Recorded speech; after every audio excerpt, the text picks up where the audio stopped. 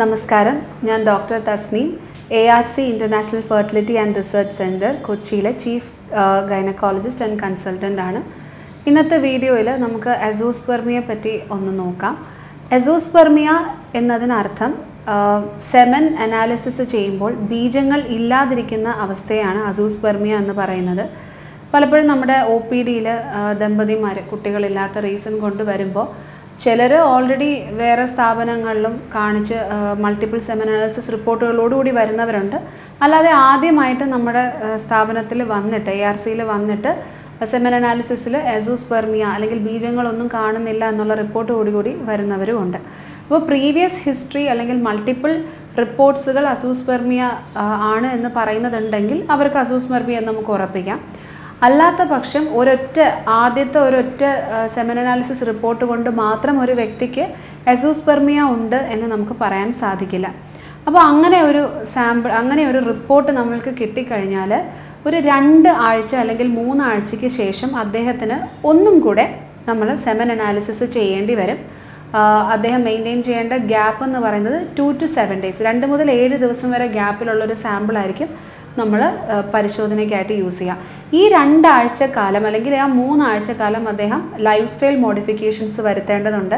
ഭക്ഷണ രീതി ആകട്ടെ ധാരാളം വെള്ളം കുടിക്കുക കെമിക്കലും അല്ലെങ്കിൽ റേഡിയേഷനും പോലുള്ള എക്സ്പോഷേഴ്സ് ഉണ്ടെങ്കിൽ അത് അവോയ്ഡ് ചെയ്യുക. അതുപോലെ എ ആർ സിയിൽ നിന്ന് ഞങ്ങൾ കൊടുക്കുന്ന ഫെർട്ടിലിറ്റി സപ്ലിമെന്റ്സ് അതും അദ്ദേഹം കറക്റ്റായിട്ട് എടുക്കേണ്ടതായിട്ടുണ്ട്. അതിനുശേഷം നമ്മളൊരു ടു ടു ത്രീ വീക്സ് കഴിയുമ്പോഴേക്കും ഒന്നുകൂടെ സെമൻ അനാലിസിസ് നോക്കും. അതിലും ബീജങ്ങൾ ഇല്ല എന്നുള്ളതാണ് നമ്മൾ കാണുന്നതെങ്കിൽ എസൂസ്പെർമിയ എന്ന് നമുക്ക് പറയാം. ഇനി അസൂസ്പെർമിയ എന്ന് പറയുന്ന ഒരു ഒരു കണ്ടീഷൻ നമ്മൾ കണ്ടു കഴിഞ്ഞാൽ അടുത്ത ചെയ്യേണ്ടത് പേഷ്യന്റിനോട് ഇത് ഡിസ്ക്ലോസ് ചെയ്യാണ്.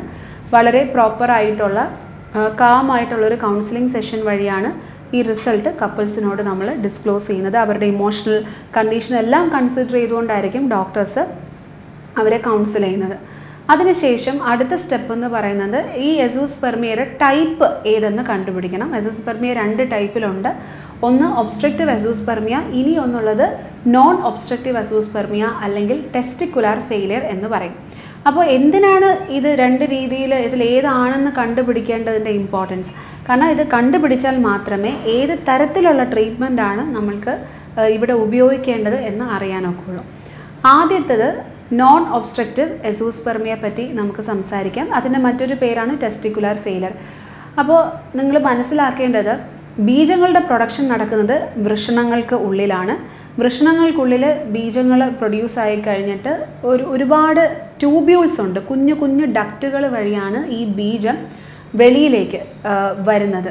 ഈ വരുന്ന വഴിയിൽ ഒരുപാട് ഗ്രന്ഥികൾ ഉണ്ടാവും സെക്രീഷൻസ് ഉണ്ടാവും. ആ സെക്രീഷൻസ് എല്ലാം മിക്സായി ആ സെക്രീഷൻസും ബീജങ്ങളും ചേർന്നാണ് നമുക്ക് സെമൻ എന്ന് പറയുന്ന ആ ഒരു സാധനം വെളിയിലേക്ക് കിട്ടുന്നത്. സോ ഈ ബീജങ്ങളെ കൊണ്ടുവരുന്ന ട്യൂബുകളിൽ എവിടെയെങ്കിലും ഒരു ബ്ലോക്ക് ഉണ്ടെങ്കിൽ ഉള്ളിൽ പ്രൊഡ്യൂസായ ബീജങ്ങൾക്ക് വെളിയിൽ വരാൻ സാധിക്കാതെ വരും. അതിനെയാണ് ഒബ്സ്ട്രക്റ്റീവ് എസൂസ്പെർമിയ എന്ന് നമ്മൾ പറയുന്നത്. ഇനി ഒരു ബ്ലോക്കും ഇല്ല നമ്മൾ കണ്ടുപിടിച്ചിട്ടില്ല. അതേസമയം ടെസ്റ്റിസ് ഫെയിലിയർ ആവുന്നതിന്റെ ലക്ഷണങ്ങൾ കാണുന്നുണ്ടെങ്കിൽ അതിനെ നമ്മൾ നോൺ ഒബ്സ്ട്രക്റ്റീവ് അസൂസ്പെർമിയ എന്ന് പറയും. നോൺ ഒബ്സ്ട്രക്റ്റീവ് അസൂസ്പെർമിയയിൽ നമ്മൾ ഒരു ഹോർമോണൽ ഇവാലുവേഷൻസ് ഒക്കെ ചെയ്ത് നോക്കുമ്പോൾ കാണാൻ സാധിക്കുന്നത് ടെസ്റ്റിസിന്റെ ഫങ്ഷൻസ് മൊത്തത്തിൽ കുറയുന്നതായിട്ട് കാണാൻ പറ്റും. അതായത് ബീജത്തിന്റെ പ്രൊഡക്ഷൻ കുറയും. പുരുഷ ഹോർമോണായ ടെസ്റ്റോസ്റ്ററോണിന്റെ അളവ് കുറയും. തലച്ചോറ് വൃഷണത്തിനെ കൺട്രോൾ ചെയ്യുന്ന ഫോളിക്കിൾ സ്റ്റിമുലേറ്റിംഗ് ഹോർമോൺ അധികമായിട്ട് നിൽക്കും. മാത്രമല്ല സ്കാൻ ചെയ്ത് നോക്കുമ്പോഴും അതുപോലെ സ്ക്രോട്ടത്തിന്റെ ഡോപ്ലർ സ്റ്റഡി അതായത് രക്തയോട്ടം വൃഷണങ്ങളിലേക്കുള്ള രക്തയോട്ടം നോക്കുമ്പോഴും രക്തയോട്ടം കുറഞ്ഞിരിക്കുന്നതായിട്ടും വൃഷണങ്ങളുടെ സൈസ് കുറഞ്ഞിരിക്കുന്നതായിരിക്കും ടെക്സ്ചറിൽ വേരിയേഷൻ ഉള്ളതായിട്ടും കാണാൻ പറ്റും. അത് നമുക്ക് ഹിസ്റ്ററി എടുക്കുമ്പോൾ ചെറുപ്പകാലത്ത് മംസ് മംസ് എന്ന് പറഞ്ഞാൽ മുണ്ടിനീരെന്ന് പറയും. ചെറുപ്പത്തിലുള്ള മുണ്ടിനീര് വലുതായിട്ട് അഫക്റ്റ് ചെയ്യില്ല. പക്ഷേ ടീനേജിലോ അല്ലെങ്കിൽ അഡൽട്ട്ഹുഡിലോ ആണ് വരുന്നതെങ്കിൽ അത് ഓർക്കൈറ്റിസ് എന്ന് പറയുന്ന ഒരു കണ്ടീഷൻ കോസ് ചെയ്യാറുണ്ട്. അത് ടെസ്റ്റിസിനെ ബാധിക്കാം. Previous history of any radiations അല്ലെങ്കിൽ കീമോതെറാപ്പിയുടെ ഹിസ്റ്ററി അതുപോലെ അല്ലെങ്കിൽ ഹെറണിയ സർജറികൾ വന്നിട്ടുണ്ടെങ്കിൽ അല്ലെങ്കിൽ ക്രിപ്റ്റോർക്കിഡിസം അതായത് വൃഷണം വയറ്റിനുള്ളിലേക്ക് ഇരിക്കുന്ന അവസ്ഥ പിന്നെ സർജറി ചെയ്ത് ഇറക്കി സ്ക്രോട്ടത്തിലേക്ക് വെച്ച അവസ്ഥ ഇങ്ങനത്തെ കണ്ടീഷൻസിലൊക്കെയാണ് അകത്ത് ഒബ്സ്ട്രക്ഷൻ ഇല്ല. അതുകൊണ്ട് വെളിയിലേക്ക് ബീജവും വരുന്നില്ല. അതിനർത്ഥം ഉള്ളിൽ പ്രൊഡക്ഷൻ നടക്കുന്നില്ല എന്നുള്ളതാണ് അർത്ഥം.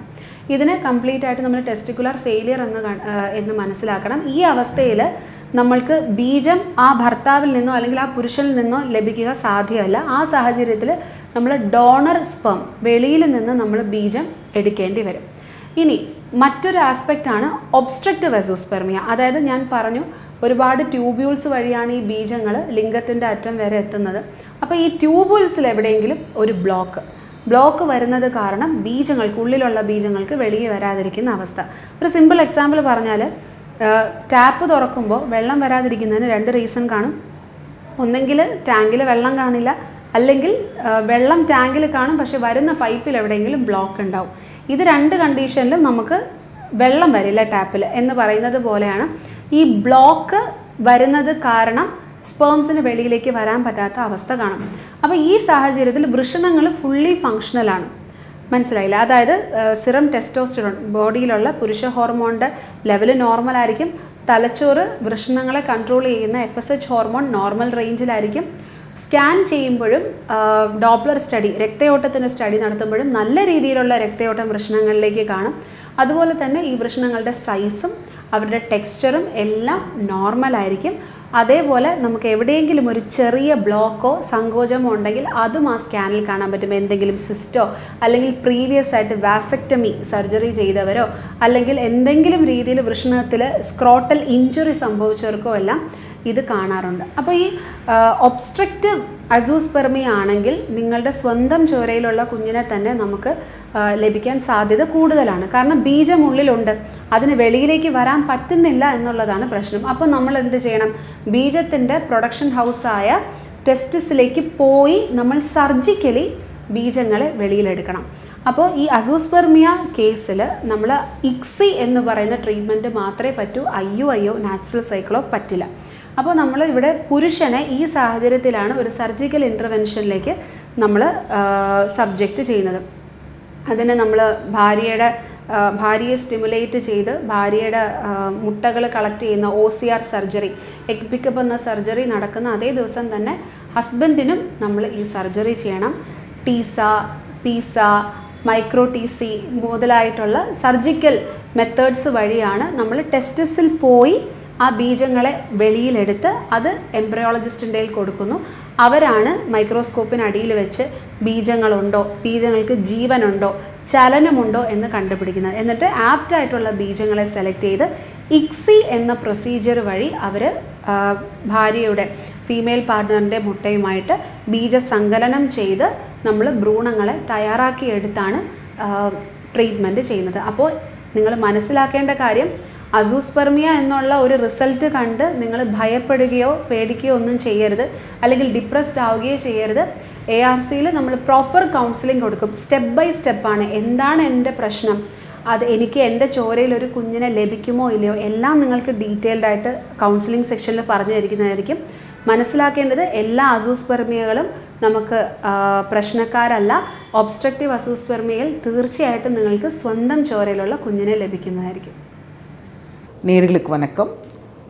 நிறைய பேருக்கு இருக்கக்கூடிய குழப்ப நிலை என்னென்னா கல்யாணமாகி பல வருடங்கள் ஆயிட்டு குழந்தை நிற்கல அப்படின்னும் போது பிரச்சனை யாருக்கா இருக்கும்? முக்கால்வாசி நேரம் எல்லாருமே நினைக்கக்கூடியது ஏன் அந்த பெண் கூட நினைக்கக்கூடியது பிரச்சனை நமக்காக தான் இருக்கும் அப்படின்னு.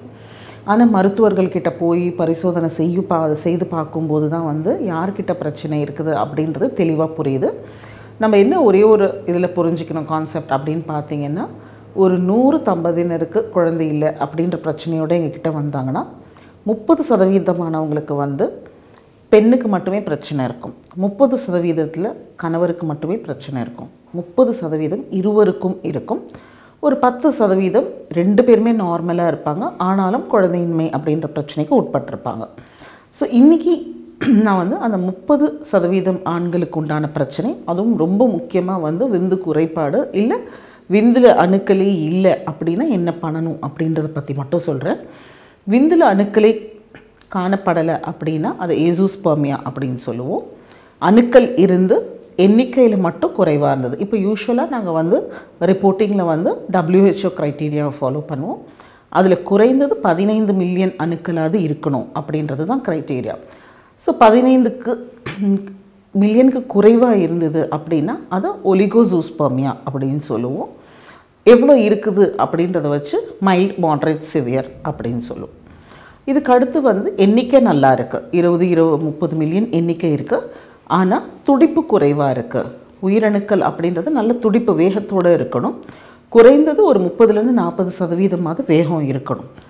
அதோடு வந்து பார்த்திங்கன்னா சிலருக்குலாம் கவுண்டிங் நல்லாயிருக்கும் thirty million forty million sperms நல்ல கவுண்டிங்கில் இருக்கும். பட் துடிப்பு அப்படின்னு பார்க்கும்போது பத்து சதவீதம் பதினஞ்சு சதவீதம் மட்டுமே வந்து நல்ல துடிப்போடு இருக்கக்கூடிய உயிரணுக்களாக இருக்கும். இதை வந்து ஆஸ்தனோ ஜூஸ்பர்மியா அப்படின்னு சொல்லுவோம். அதாவது துடிப்பு குறைவாக இருக்கிறத வந்து ஆஸ்தனோ ஜூஸ்பர்மியா அப்படின்னு சொல்லுவோம். வடிவமைப்பு அப்படின்றது ஒரு உயிரணுக்களை எடுக்கும்போது தலைப்பகுதி உடல் பகுதி வால் பகுதி எல்லாமே வடிவத்தில் வந்து நார்மலாக இருக்கணும். சில நேரம் இதில் வந்து கோளாறுகளோடு இருக்கும். ஒரு உதாரணத்துக்கு பார்த்தீங்கன்னா ஒரு சிலதில் வந்து தலையில் வந்து கோளாறு இருக்கலாம் இல்லை உடல் பகுதியில் இருக்கலாம் இல்லை வால் பகுதியில் இருக்கலாம். ஸோ இதை வந்து வடிவமைப்பில் வந்து கோளாறு இருக்கும்போது இதை டெரட்டோ ஜூஸ்பமியா அப்படின்னு சொல்லுவோம்.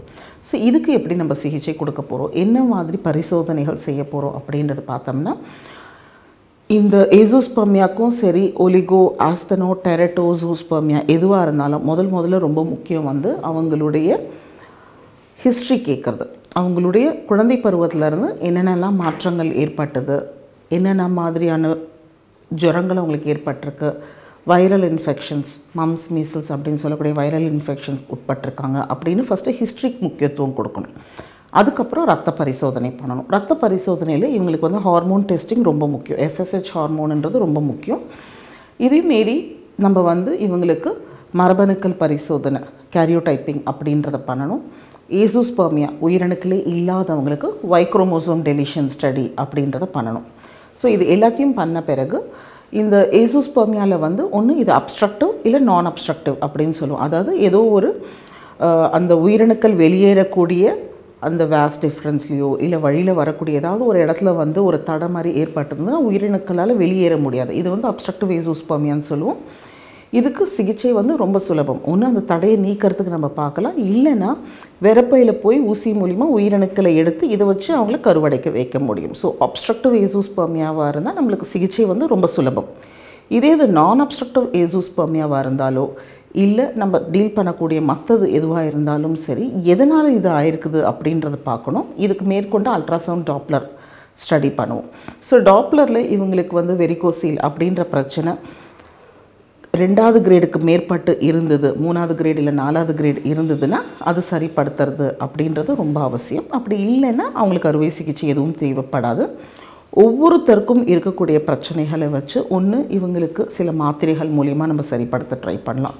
இல்லை ஹார்மோன் இன்ஜெக்ஷன்ஸ் மூலிமா நம்ம சரிப்படுத்துறதுக்கு ட்ரை பண்ணலாம். இல்லை இருக்கக்கூடிய சில உயிரணுக்களை தேர்ந்தெடுத்து அதிகபட்ச சிகிச்சையாக நம்ம சொல்லக்கூடிய சோதனை குழாய் சிகிச்சையில் ICSI treatment or IMSI treatment அப்படின்னு சொல்லுவோம். இக்ஸின்றது intracytoplasmic selectively injected sperms IMSI அப்படின்றது intracytoplasmic morphologically selected injection so இது மூலியமாக வந்து நம்ம வந்து உயிரணுக்களை வந்து தேர்ந்தெடுத்து அதன் மூலியமாக இவங்களை கருவடைக்க வைக்கிறதுனால இவங்களுக்கு நல்ல ஒரு ஆரோக்கியமான குழந்தை பிறக்கிறதுக்கு வாய்ப்புகளை நம்ம அதிகப்படுத்தி கொடுக்க முடியும். நன்றி.